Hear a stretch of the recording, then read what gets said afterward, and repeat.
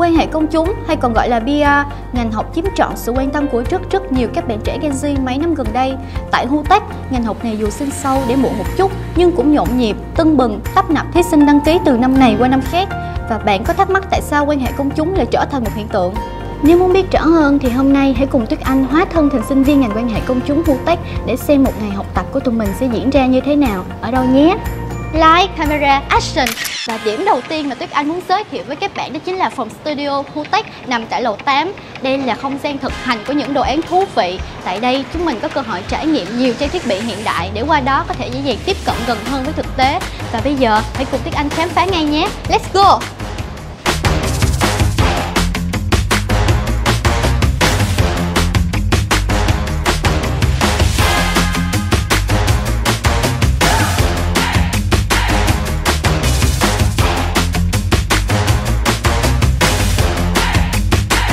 Và các bạn có biết không, ngành PR đòi hỏi chúng ta phải có tính chủ động nè, sáng tạo nè, nhanh nhẹn và luôn sẵn sàng trước mọi thử thách để sau này có thể dễ dàng làm việc được ở nhiều môi trường khác nhau.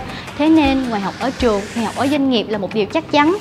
Điểm tiếp theo, mình sẽ dắt các bạn cùng đi tham quan doanh nghiệp với sinh viên ngành quan hệ công chúng ở Tắc nhé. Ngoài giờ học trên giảng đường thì vẫn chưa đủ, các bạn sinh viên ngành quan hệ công chúng còn được đi vi vu tại các doanh nghiệp lớn để cảm nhận được ngành học và ứng dụng vào trong thực tế. Và đây cũng chính là cơ hội để các bạn tiếp cận được gần hơn với doanh nghiệp. Bạn đã thấy rõ sinh viên ngành quan hệ công chúng học như thế nào rồi chứ? Với nền tảng kiến thức và kỹ năng như vậy, sau khi tốt nghiệp, bạn sẽ thẳng tiến vào thế giới PR, marketing, tổ chức sự kiện, báo chí hay agency. Hấp dẫn chưa? Về với Hutech để bắt đầu tô vẽ thêm tương lai của mình bạn nhé! Học quan hệ công chúng, chọn Hutech, chọn thành công!